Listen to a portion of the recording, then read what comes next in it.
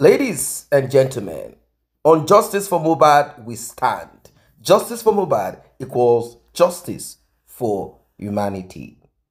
Let us welcome Karimo. Karimo is going to speak to us. She's going to tell us she wants to speak. She wants to express herself. She wants to tell us what we don't know. We all have been hopeful. We have been waiting for Karimo to spill the beans. Tell us, tell us that thing. Tell us that thing. We know you know a lot of things, and right now, Wumi's camp, they they are not in a good shape. They are not in a good shape. I'm talking about those that Wumi paid to sponsor our agenda. She spent Mobad's money. Recall that Mobad went to a show. He must have been paid. Where is the money? What about the money they said is in Wumi's account? So she has been using that money to pay certain people. They call them speakers. to speak in her favor. That's one. Two, we have those who are fantastically wicked. These are wicked people. They are only interested. In fact, they are only comfortable. They dwell where wickedness is. We have those group too. Right now, they are not in a good shape. And we have the ignorant people. Very ignorant. We have those ones too. All of them are not in a good shape. Right now, uh, Karimo decided to release the bombshell. I call it bombshell. And uh, she is going to tell us everything. We've been asking her, tell us this, tell us that. And I am very sure that you also have questions to ask Karimo. Karimo, tell us this one. Karimo, tell us that. And majorly, what people are asking to know is about the demise of Mubad and possibly DNA. DNA. Wumi and her mother, they are so rattled up right now.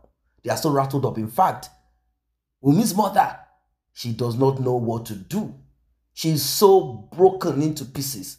And you know, if you know the amount of curses that are sent towards the direction of police people, policemen and women, particularly the wicked ones like Wumi's mother. Why did I say she's a wicked mother? I am not even judging her on what Karimo said she did when she was young. She did when she later you know, grew up. She did, she died, and she left us. I'm not even looking at that. I'm focusing on what I can boldly say I heard from her mouth.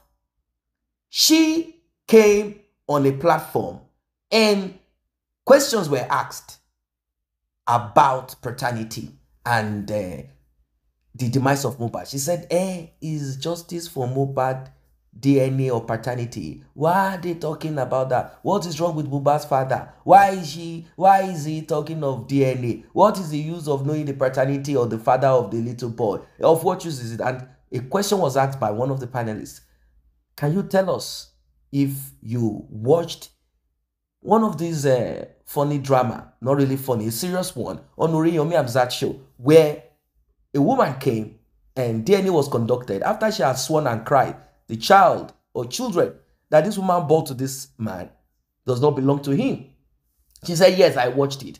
So people said, So if that is possible, then this is also possible. Do you know what she said? She said, Eh, but Mobad is dead. Can you believe it?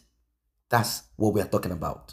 Kọ́ dẹ̀ ń bò mọ́lẹ̀ wọn lè wọn. ẹni tí bá àṣẹ ṣẹlẹ̀ ẹjọ ẹ bá mi sọ̀rọ̀ yẹn repeat ẹ bá mi ní sọ̀rọ̀ kẹ́kẹ́ yẹn. kí n sọ̀rọ̀ ẹjọ́ ẹjọ́ ẹni tí bá ṣẹlẹ̀ sí mi bó ṣe ṣẹlẹ̀ sí Mohbad ẹ mú ìyá Wùmí ẹ mú Wùmí ẹ mú ìyá Túndé ẹ mú Jókòó Tádé ẹ dẹ̀ má wọn justice for Wùmí i'm saying it on video. Ó yẹ ẹni tó bá fẹ́ sọ̀rọ̀ ẹ sọ̀rọ̀. Ó ti ṣe tán ẹ jẹ́ kí ó yá sista tó kẹ́kọ̀ọ́ so bí nǹkan tí mò ń sọ lọ mo ti gbàdúrà fún yín ní àkọ́kọ́. So kò tiẹ̀ sí nǹkan kan tó máa ṣe yín lágbára ọlọ́run torí ìjẹ̀bú sọ wéèbà wọn jẹ wéèbà wọn mu. Ẹ bá wọn jẹ ẹ dẹ̀ bá wọn mu wọn ò lè ṣí wọn ò lè ríbi ráyè nínú ayé yín àti ìdílé yín torí ọwọ́ tọ́gẹ̀dẹ̀ wọn bá gbé ara wọn náà ló máa fi lù? Ẹni gbogbo àwọn wúmà yẹn tó ń sọ̀rọ̀ èwo ló gbàdúrà pé nǹkan tó ṣẹlẹ̀ sí Mohbad kó ṣẹlẹ̀ sí àkọ́bí ọmọ wọn? Wọ́n máa máa pariwo wọ́n máa máa pariwo wọ́n á máa sọ oríṣiríṣi ọ̀rọ̀ tí yẹ pé àwọn ọmọ wọn gan ṣọ́ máa ń gbọ́ àwọn nǹkan tí ìyá wọn máa ń sọ jáde lẹ́nu gan bó ṣe wá rí ti bàbá tẹ ṣe yẹn mo gbé fún yín.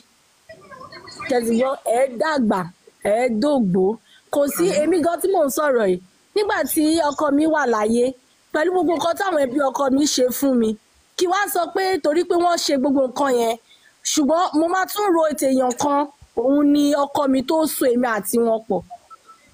Màá wò pé ìyá mi ò sí bẹ́ẹ̀ mọ̀ bàbá mi ò sí bẹ́ẹ̀ ẹ̀gbọ́n ìyá mi ò sí bẹ́ẹ̀ èmi sì wà ń bẹ́ẹ̀ torí pé ọmọ mi.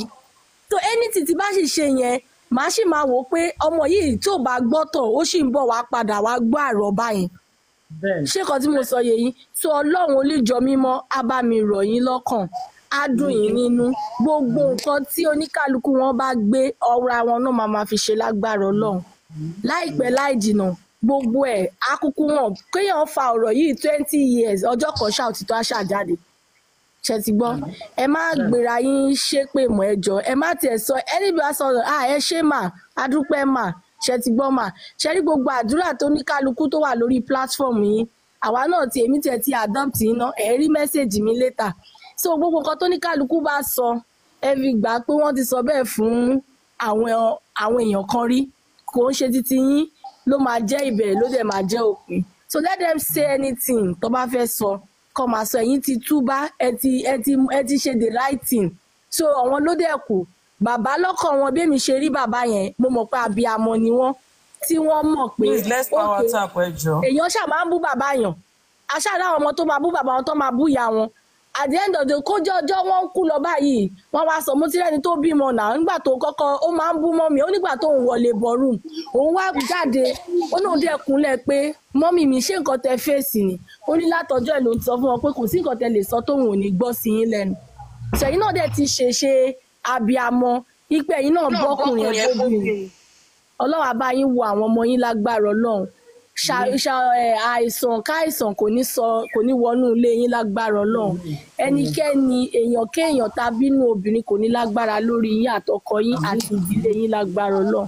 Bàbá yín náà tó ń sọ bàbá yá wá dàgbà fún yín o. Ẹ ní ṣáájú ẹ lọ o. Á dàgbà á rọmọ ọmọ lágbára ọlọ́run kò wá ní ẹ̀yin ò wá ní ẹ ní ro- ẹ ní rógun wàhálà ìdààmú lórí wọn o.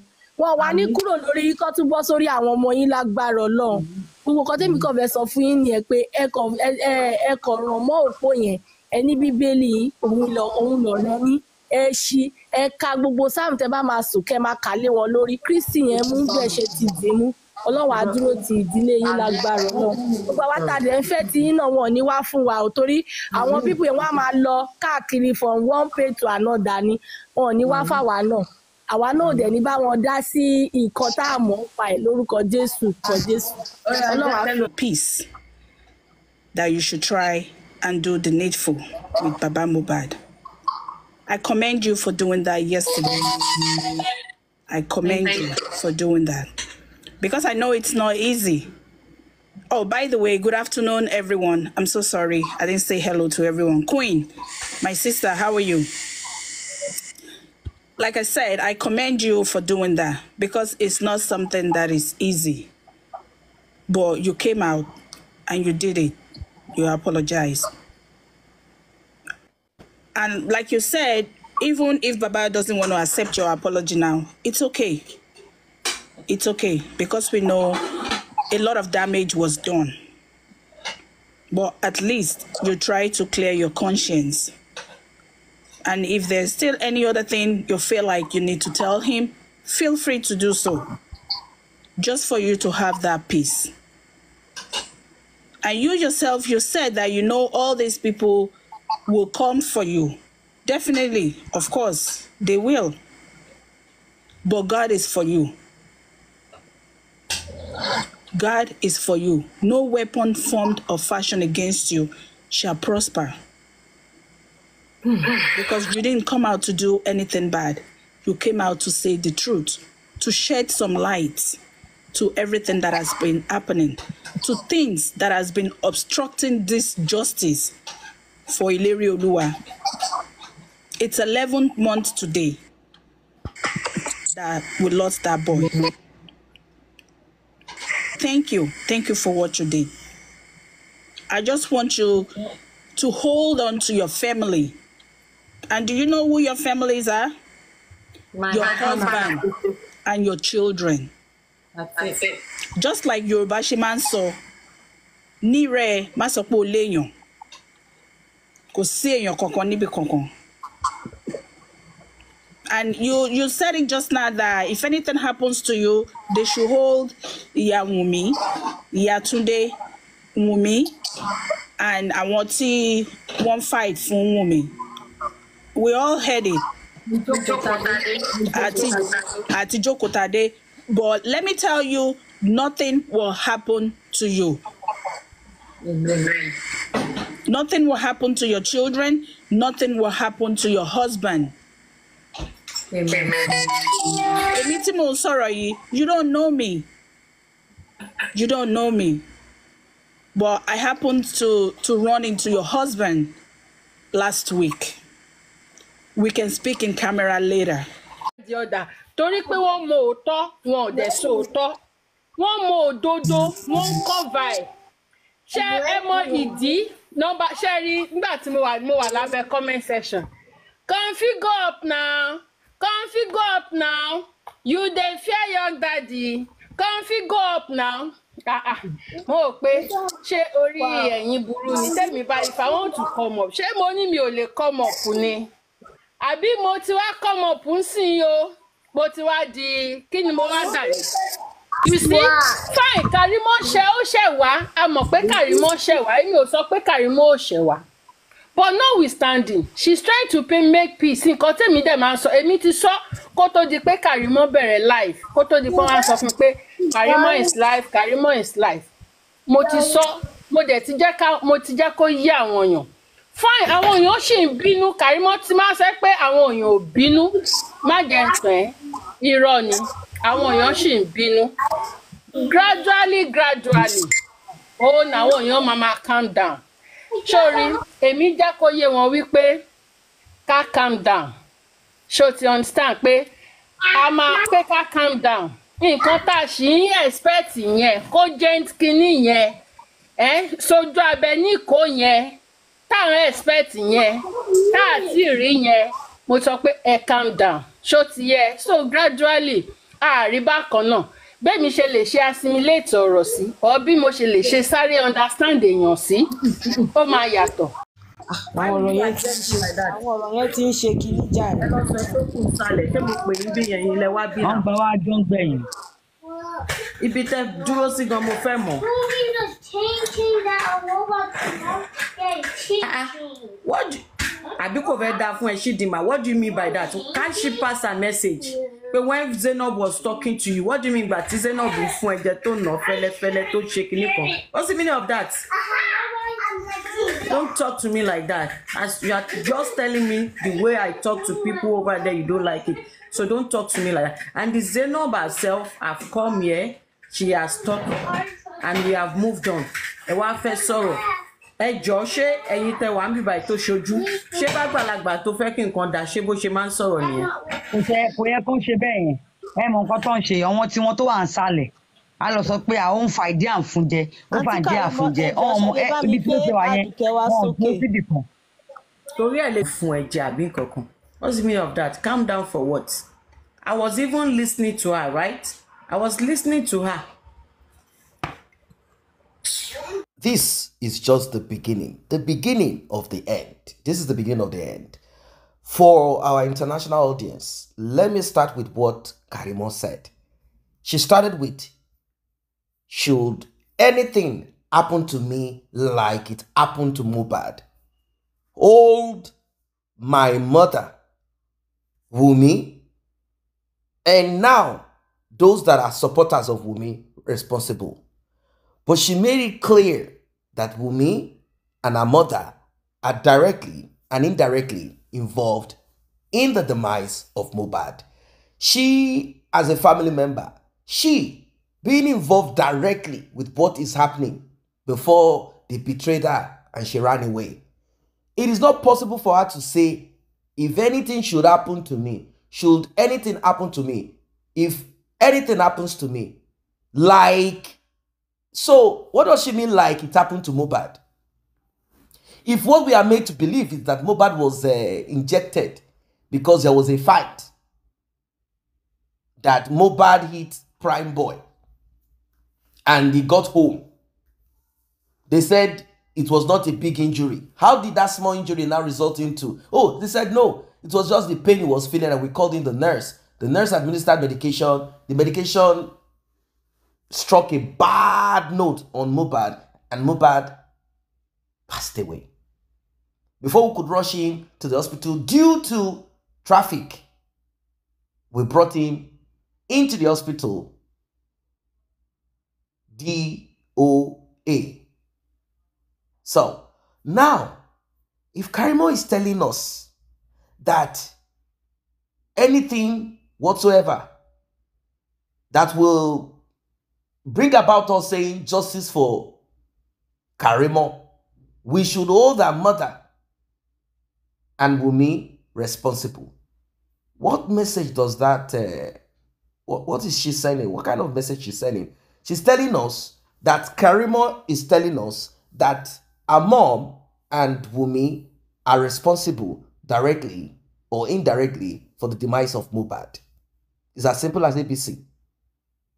That's it.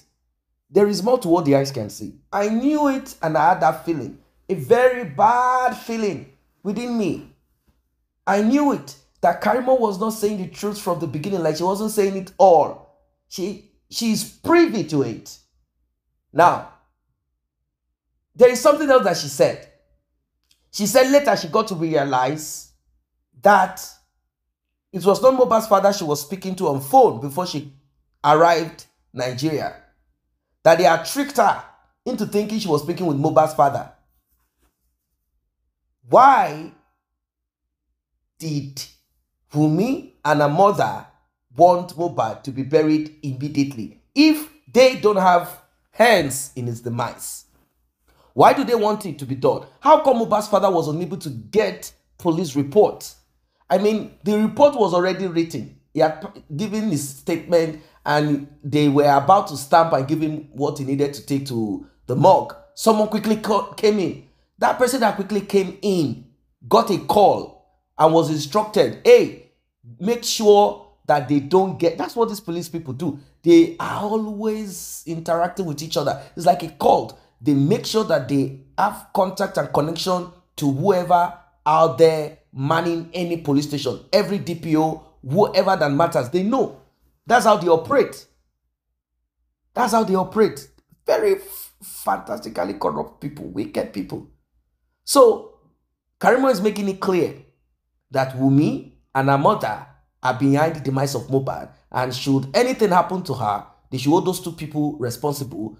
Simple as ABC. You heard it. That's what she said from the beginning. This is not we are trying to make it up. She said it. Should anything happen to me like it happened to Mobad? She didn't say, if I RIP. She said, the way Mobad RIP, if something similar or same happens to me, hold these two people responsible. That's the answer to everything. That is the answer to everything. That these two people are responsible. Wumi did what she did, contacted her mom, they swung into action, covered up what they needed to cover up. They finished what they needed to finish. They wanted Mubad to be quickly put under the soil. In fact, if Mubad's father, if Mubad's father fell into the trap that Wumi set through her mom, they told him to take Mubad to their village. If Mubad's father had tried, he would not have been successful. Because first, for you to transport such a body, you need police report, you need all of that. So they wanted him to quickly go so that they will send police. It will be a roadblock that will stop him. I don't think we'll be talking of what we are talking of right now. Mohbad's father would have been maybe taken out. They would have shot him. They would say he was trying to escape. So that he will not request for DNA, he will not request for anything. But the man did not fall into such a trap. Karimo, you have to tell us more. We don't want you to drop it like a. We want you to drop it bulk